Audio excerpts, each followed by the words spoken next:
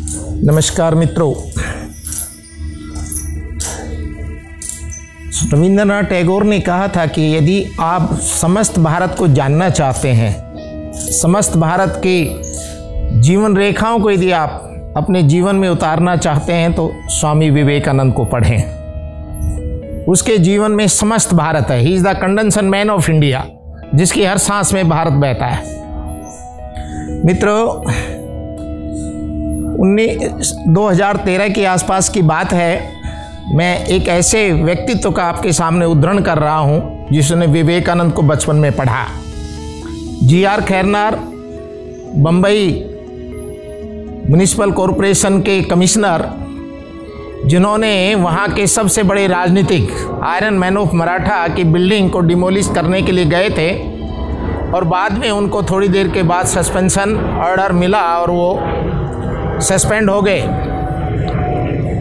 और कई वर्षों तक कोर्ट में लड़ने के बाद जब जी आर खैरनार दोबारा अपने ऑफ़िस में ज्वाइन किया, high court, Bombay high court से वो जीते तो अपने ऑफ़िस में जाकर कहा कि चाय और पानी हम तब पियेंगे, बाद में पहले हम उसी बिल्डिंग को, जहाँ हम सस्पेंड हुए थे, एक बहुत बड़े राजनीतिक की बिल्डिंग थी, जो महाराष्ट्र के अंदर सबसे बड़ा अपना राजनीति में कद रखते हैं।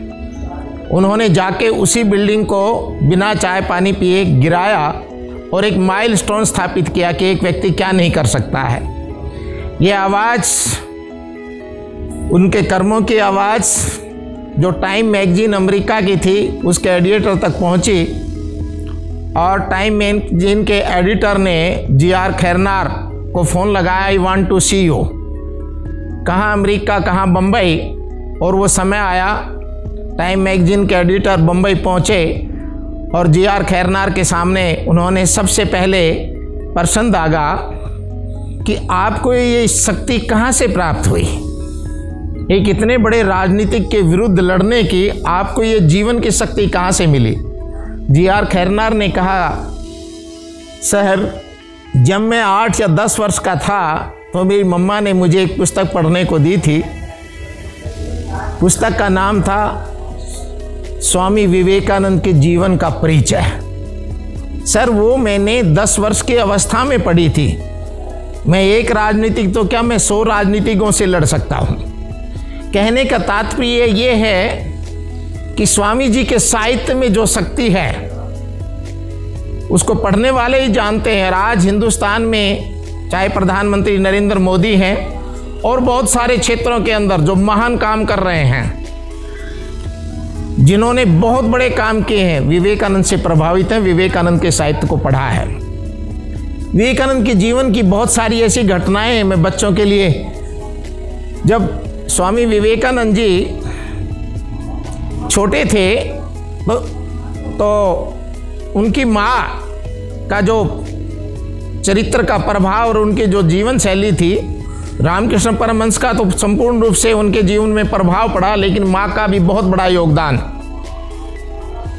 स्वामी जी, जिन दिनों नरेंद्र नाथ थे, स्कूल में पढ़ते थे तो क्या हुआ, एक भूगोल क्लास की कक्षा चल रही थी, और टीचर ने उनसे प्रश्न किया तो स्वामी जी ने, नरेंद्र ने उस समय उसका जवाब दिया, और वो जवाब सही था। लेकिन अध्यापक ने कहा कि आपका जवाब गलत है नरेंद्र उस पर अड़ गए और दोबारा से कहा कि, सर, मेरा जो क्वेश्चन का मैंने जो उत्तर दिया है, वो बिल्कुल सत्य है। बार बार कहने पर टीचर को झुंझला हटाई और नरेंद्र की अच्छी खासी पिटाई कर दी गई। नरेंद्र जब अपने घर पहुँचा तो अपनी मम्मा से कहा कि, माँ, मैं अपने जो प्रश्न का जवाब था, वो बिल्कुल सत्य और ठीक दिया और टीचर ने मेरी पढ़ाई कहा कि तुम्हारा जो उत्तर है, वो बिल्कुल गलत है। और मेरी बहुत ज़्यादा पिटाई की। भुवनेश्वरी देवी ने कहा कि देखो बेटा, यदि तुम जानते हो कि मैं सत्य हूँ, सत्य पर मेरी कसौटी सत्य है और ये सच्चाई है, ये जो मेरा प्रश्न था, ये बिल्कुल सत्य है तो आप उस पर अड़िग रहिए।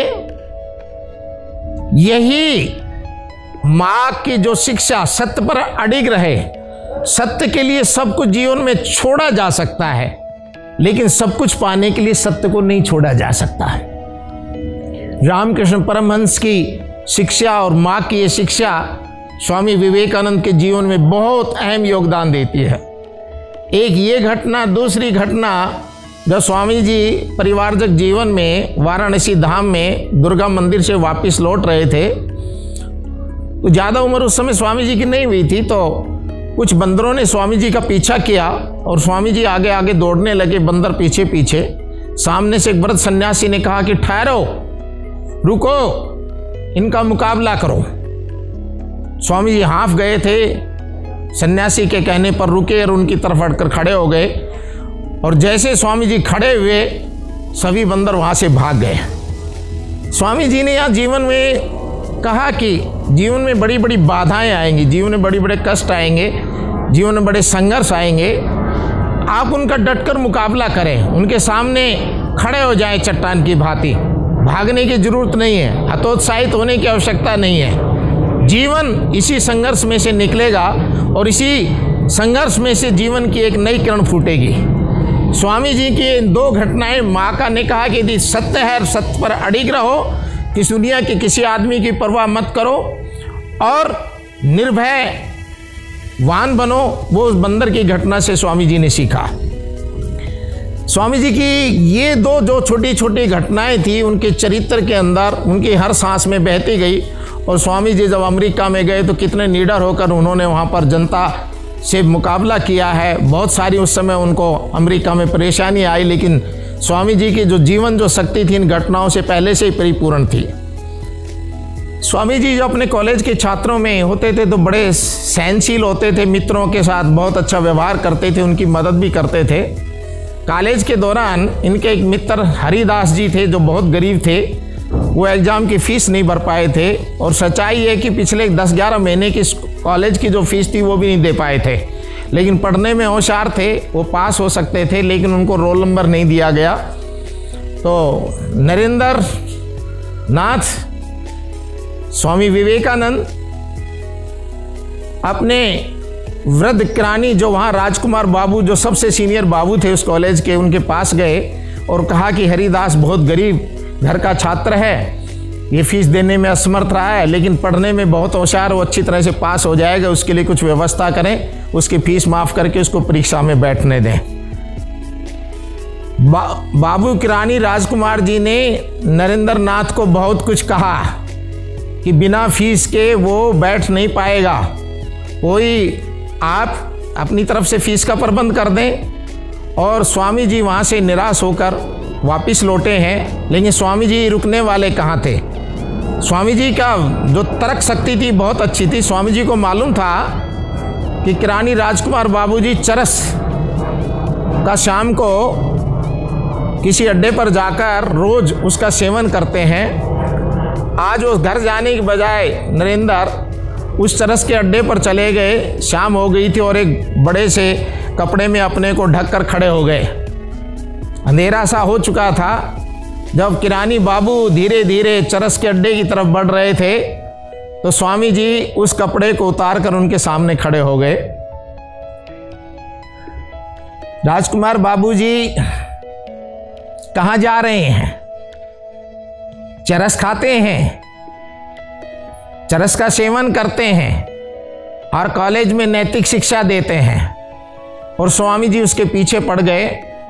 या तो हरिदास जी की फ़ीस माफ़ कर दें, नहीं तो कल पूरे कॉलेज में आपका डंका बजा दूँगा। कि किरानी बाबू, रोज चरस खाने के लिए चरस अड्डे पर शाम को जाते हैं। किरानी बाबू फंस गए थे, बड़े प्यार से उनके सर पे हाथ रख के, नरेंद्र, तुम तो ऐसे हो, क्यों तुम दुखी होते हो? हमने कब मना किया है? हम हरिदास जी को कल नंबर दे देंगे, सारी व्यवस्थाएँ फ़ीस माफ़ कर देंगे, लेकिन इन बातों का ज़्यादा आपको कुछ नहीं कहना है। नरेंद्र वहाँ से चले आए, सुबह अपने मित्र हरिदास जी के पास गए, और हरिदास जी को कहा, सारी समस्याओं का समाधान कर दिया है। आपको आज रोल नंबर मिलेगा और आप परीक्षा की तैयारी करें, आप हमारे साथ परीक्षा देंगे। वही हुआ। कॉलेज में जाते ही सुबह मॉर्निंग में, किरानी बाबू ने हरिदास जी को बुलाया और बड़े प्यार से उनको रोल नंबर सब चीज़ें माफ़ करके दी और वो अपनी परीक्षा में बैठे और उत्तीर्ण हुए। नरेंद्र के अंदर ये विशेषता थी। बचपन से ये विशेषता थी। वो गरीबों की मदद करते थे और आगे चलकर वो उन्होंने क्या क्या विश्व के अंदर एक तरह का डंका बजाया है, सेवा का, ये संस्कार उनके बचपन से ही थे। स्वामी जी, एक बार वृंदावन में घूम रहे थे तो सामने से देखा कि एक व्यक्ति चिलम पी रहा है। स्वामी जी मूड के मालिक थे। तो स्वामी जी ने उनसे कहा कि चिलम हमारी पीने की इच्छा है। तो उस भंगी मेहतर कहा कि नहीं नहीं स्वामी जी आप स्वामी जी मैं तो भंगी हूँ, मेहतर हूँ। मैं अपनी चिलम आपको कैसे दे सकता हूँ? स्वामी जी ने चुपचाप होकर आगे चले गए, थोड़ा सा पचास साठ कदम जाने के बाद स्वामी जी ने सोचा कि मैं तो एक सन्यासी हूँ। मुझे जाति, प्रथा, इन सब चीज़ों से मेरा क्या लेना देना? मैं इसको तोड़ना चाहता हूँ स्वामी जी की आत्मा में उस समय एक शक्ति सी जागृत हुई और स्वामी जी वापस मुड़े और उस मेहतर के पास आए और उनकी चिलम को छीना और कहा कि नहीं, मैं भी आपकी तरह हूँ, मैं किसी जाति, में सन्यासी हूँ, जाति का मेरे ऊपर कोई प्रभाव नहीं है। और उनके साथ बैठकर दोबारा चिलम भरवाई और 15-20 मिनट तक उस चिलम का आनंद लेते रहे। स्वामी जी के जीवन में ये जो घटनाएँ हैं, इनसे हम बहुत कुछ सीख सकते हैं। स्वामी जी का जो जीवन था, जीव, सेवा ही नहीं, जीव पर दया ही नहीं, जीव की सेवा करो। ईश्वर के रूप में सेवा करो।